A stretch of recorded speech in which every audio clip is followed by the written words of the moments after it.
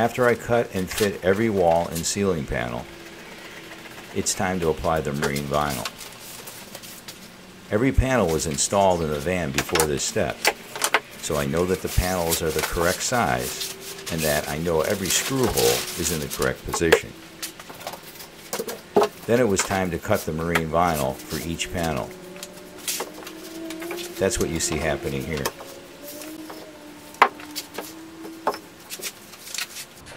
Each edge is one and a half inches oversized.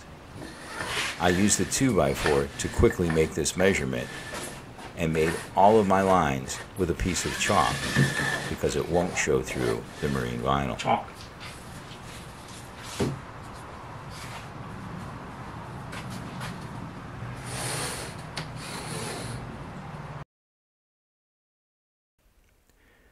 I cut each piece of vinyl for every wall panel, attempting to make the best use of the vinyl.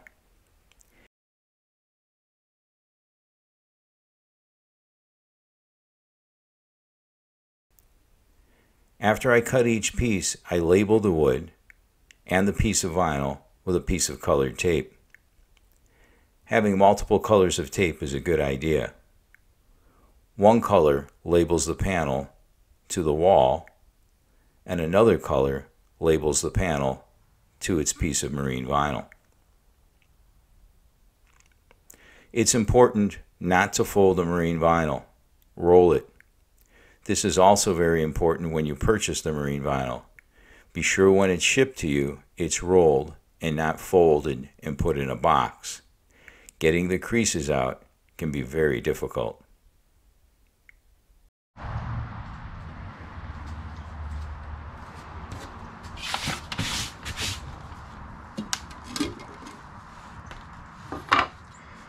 Putting the marine vinyl on this 5 millimeter plywood and you'll notice that I've marked everything and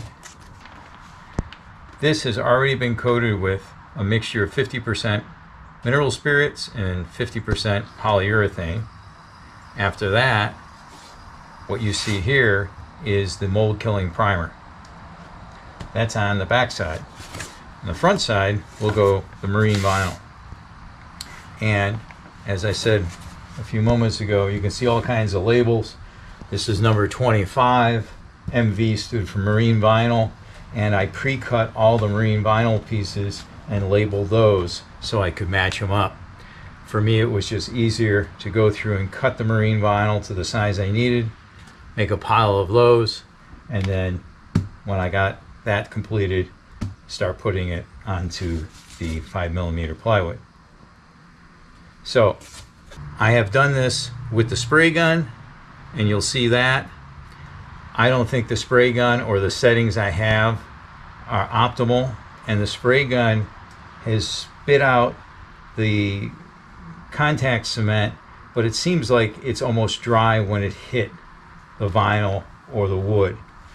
So I would back up that spray with putting it on with a brush because I want 100% coverage.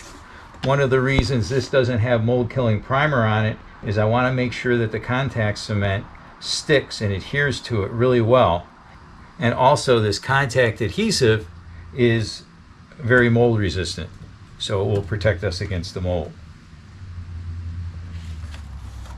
Now the way I'm doing this is I pre-cut the marine vinyl and then I place my piece of wood down on it and I use this pencil and I go around and mark where the wood's going to be.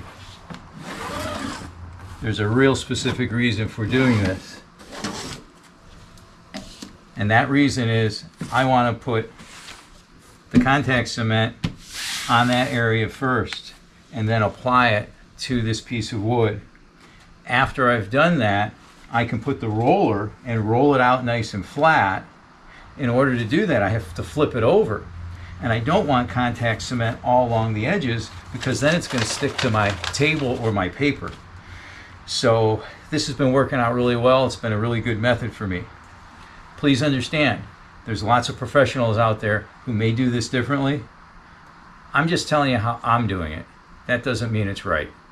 But down the road, I'll report and let you know how things hold up. So please subscribe. See?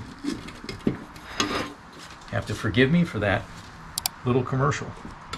All right.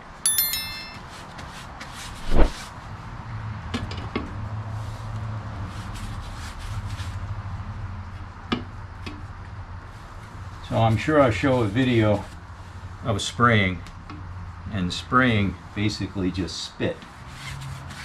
I know I'm using a lot more contact cement doing it this way, probably more than I need to, but I don't want to do it again. So I'm coming up with a system here that I think is going to be the best for me. I got to take my label off because I don't want to glue the label in.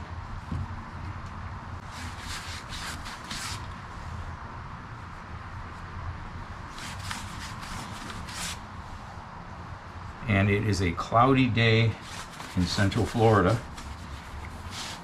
which is nice because even though it has rained, the humidity is kind of low, so it's pretty comfortable.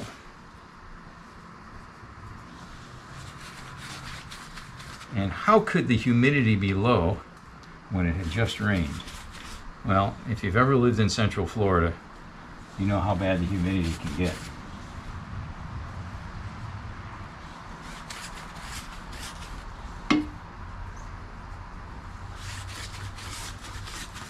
All right, I get this thing fully covered with a thin coat of poly, or thin coat of poly, a thin coat of contact cement.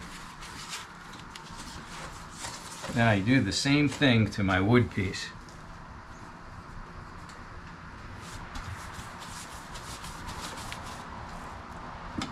And they say in the instructions to let it dry for five or ten minutes.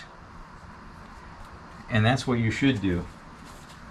But honestly, I don't wait that long. Because if you let it dry for the full time that they want it to dry, the moment it touches, it is going to be an amazing bond. And you're not going to be able to reposition it. And that, I have discovered, can be a big problem. The marine vinyl is very forgiving, but it'll only stretch so far and if you pull on it too hard, it stretches and then it doesn't go back to its normal form. And you end up with wrinkles. And I don't want that to happen. Okay, I don't want it to happen again because it happened on one piece. And yeah, no, you're not going to see that video because I didn't videotape it. That was the experiment. All right, so I got that covered. Now, while I was doing that, This has dried up pretty good. And you notice how it's gotten a little wrinkly there? And that's just from the drying of the contact cement. So it won't stay perfectly flat. So then I'll take this, line it up on my lines approximately.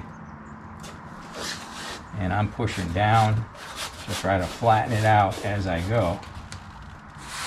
And since I didn't go all the way to the edge, now I can flip this over. And you see the bubbles? Got to get those bubbles out. And since I didn't wait the full five minutes,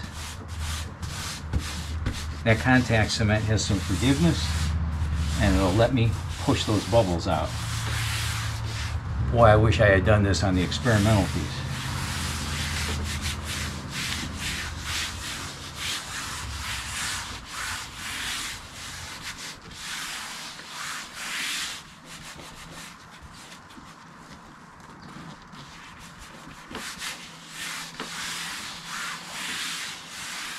Now, I also was concerned, what if I got a little contact cement on this white marine vinyl? If you work on it and get it off really quick, it'll roll off just like rubber cement. But if you let it sit there too long, it'll eat right into it, so you don't want to do that. I experimented with some scrap pieces to discover that. Okay, so I'm happy with that. So hit it with the roller.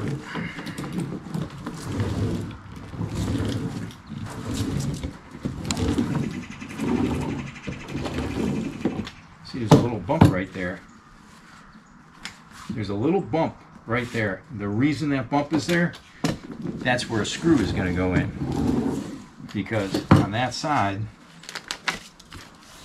you can see there's that little screw hole right there. So any blemishes will show through, but that's being overly picky because when it's all done, the only person who's going to see those few blemishes is probably going to be you. But we always do the best we can. Okay, so now that I got that done, now I'm going to cover this area and the wood. And you'll probably see the marine vinyl will start to curl because as this dries it pulls in and this part I will let it sit for five minutes because this part I'm just pulling over and pulling it tight and it's not going to be a problem if there's a wrinkle. Okay, I waited five minutes and you can see in that five minutes this is curled. So in that five minutes, what I should have been doing, I should have been cutting my corners, which is what I'm going to do right now. But it would be a better practice to do that while you're waiting. So for the corners, I cut out on each side. Let's bring you in close for that. So for the corners, I cut out on each side and then make it nice and straight. Don't need that much. So now I got this tab that I can pull on, pull it tight and pull it over. And now that makes my corner. And there's enough stretch that it does a really good job. Then I can pull and just push this down and just do that all the way along so after I do that I need a little bit of contact cement on here so that when I pull this over so while I'm working down the line I'll put the contact cement on here and then I'll work down the rest of this line and come back and then do this side.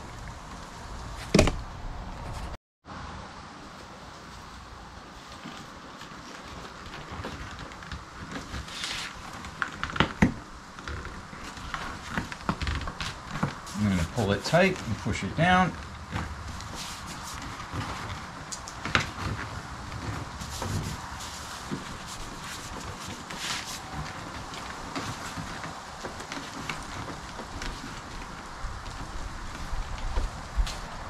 And I went a little too far on this side because I got to do my corner.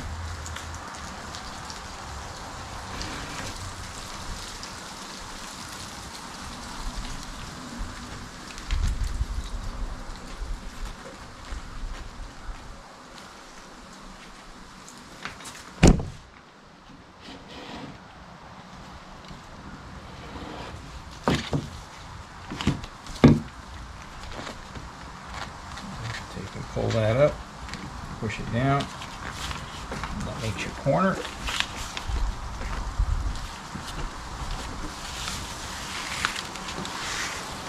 And like I did down at that end, I'll add a little contact cement to this side. And then while that's drying, I switch over and go to this side. But what I've learned is I should go do my corners first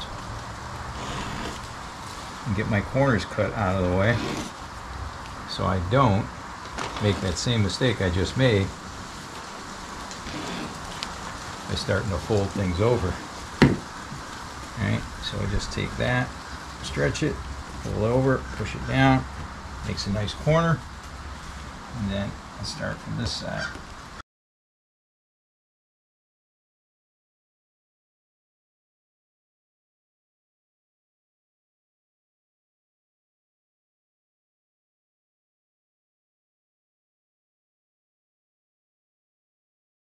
And on that one. And then while that one's working to dry that contact cement, I can work on this side. But I got a complex corner over here. So let's check that one out.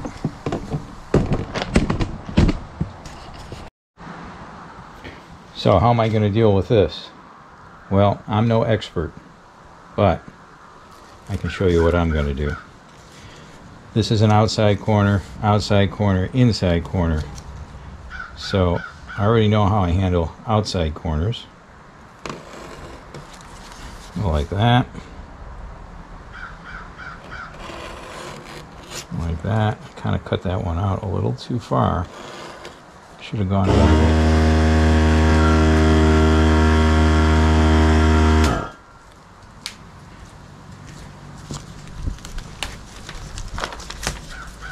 Should have gone in a little further on that, but I think it's okay. Because, thank goodness, this stretches really well. So, now I'm going to go to this other corner, get a little closer to the corner, pull that in, pull that in. Doesn't need to be that crazy long. That up. There we go. Now the inside corner, basically going to do the same thing. I'm cut a little strip really close. And the distance that you stay away is the thickness of the plywood, in this case 5 millimeters, but of course you're not measuring, you're doing it by eye. And if I did hundreds of these a day, I would get really good at it. And I pull that over, and that gets my nice rounded corner. And I'll pull this over. That's nice and tight. Pull that over, and that's nice and tight. If you see this, it pulled over and it covered that edge a little bit. If I was really good at this, I would have cut it a little bit less and it would cover the whole edge. But that's pretty good. The corners here worked out really well. Everything's covered. So I should have been a little bit further out, but that's okay. It's never going to be perfect. I want a super good bond, so I'm going to hit this with a little contact cement. And I can do that because over on this side, I'd already put it on there. So I can work on this side and work my way to the other side. And since I'm a slow old man, by the time I get there, that contact cement will be dry enough.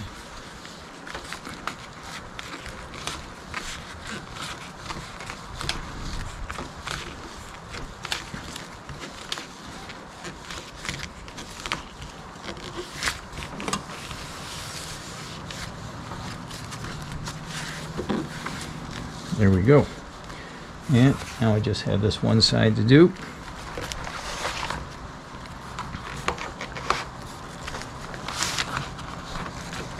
Get nice and tight.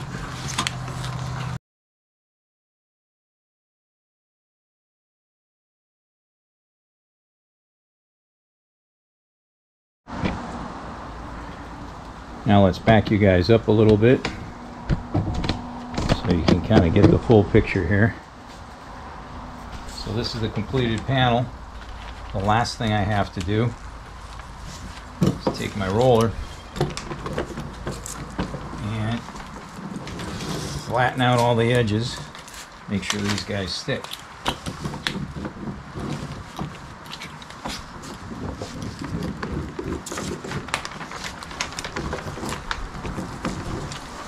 Yeah.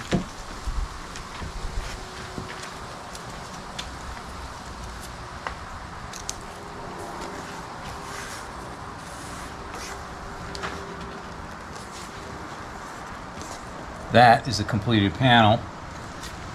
And I think it looks pretty good. There is a little dot, not sure if you can see it, right here, a little bump out, and that keeps bothering me, but that's where a screw is going to go to hold this panel in place. So it's funny how those little blemishes that nobody else will probably see kind of bother me. But once I put it in, there'll be a white screw there and it'll all be good. So that's how I'm doing my vinyl panels. Once again, I'm no expert. I'm just showing you what I'm doing. Seek professional assistance with everything and make sure you have really, really good ventilation when you're doing this because the fumes that this contact cement gives off, it's nothing to fool with. All right. So I'm going to do the rest of them. And even though it's a windy day on the hill and it's beautiful weather, I'm still going to turn my fan back on.